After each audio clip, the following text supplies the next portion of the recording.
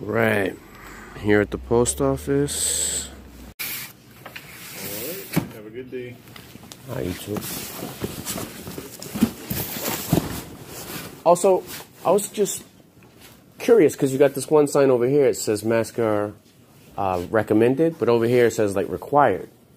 We go with the, uh, whatever the city's saying. I know it's it's like technically not law, but I'm just curious. Like, how is it okay to put like require? Because this could like incite violence one day towards like I don't know who would get violent about it, but like some you see i don't know if you looked on the internet you see a lot of people like a lot of it's staged a lot of it's fake videos but some of it you know is for real um, but eventually i think this is going to get worse i don't know if you've seen it you, you i guess not if you're saying that you haven't seen any violence in here here. It doesn't matter either way.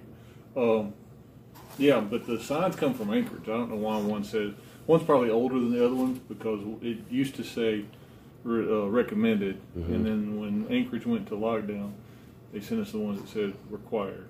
So probably just an older sign on the. But don't you think it would be appropriate based on like the laws in this country how there's religious and medical exemptions that there should be like a something there just in case someone wants to get oh yeah, we violent can't refuse service to anybody. So I understand that, but someone else might come in here and someone else might wind up working here that doesn't know one day, and then it could cause like a prop. You know, that's all. I'm just looking out for like the future. I know things are pretty chill right now, but I understand. Alright. So, all right. but could you run that like maybe by your maybe you guys could like put up put up a sign out there like I, I could help like let me let me get a let me get the postmaster real quick.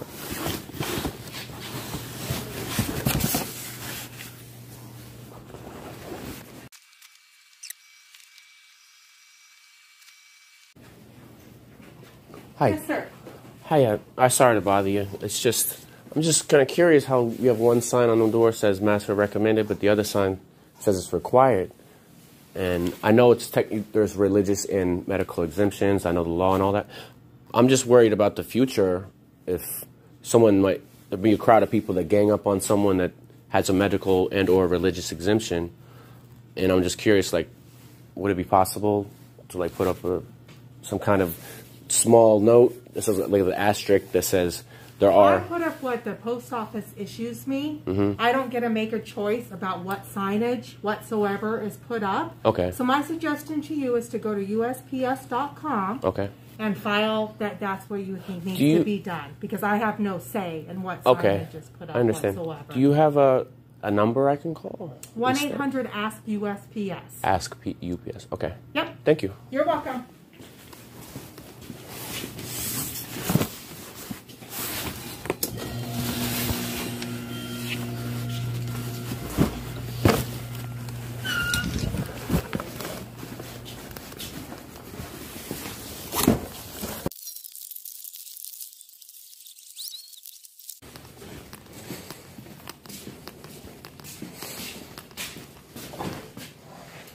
Hey, hey, killer. Hey, how are you? Hey, you don't need to. You know you don't do. You, you don't need to do that.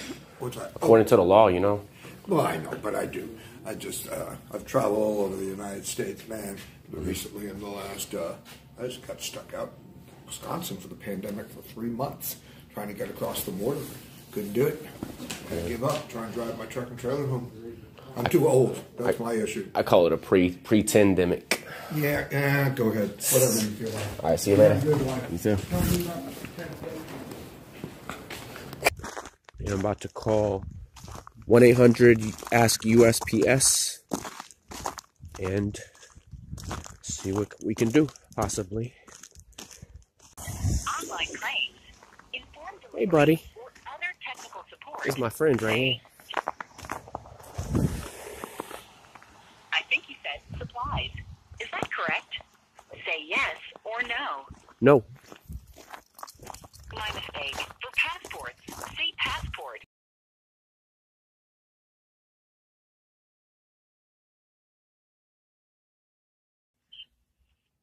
Thank you for calling. My name is Mahogany. Can I have your name, please? Yeah, my name. How can I assist you today? Yeah, I'm just calling about how you guys have the the signs outside of on your doors in the post office. Um, I noticed on one door you had a sign that said mask or recommended, and on the other door in the town I'm in, it says required. And I asked about it, and the guy said like one of the signs must be old.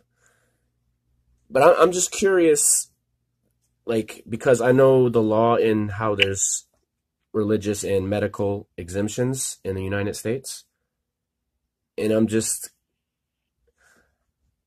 I'm just wondering if you guys could possibly like update the signs to have like a small notice, like on the bottom at least, to where it it says like there are laws in the United States of America that that allow religious and or medical exemptions.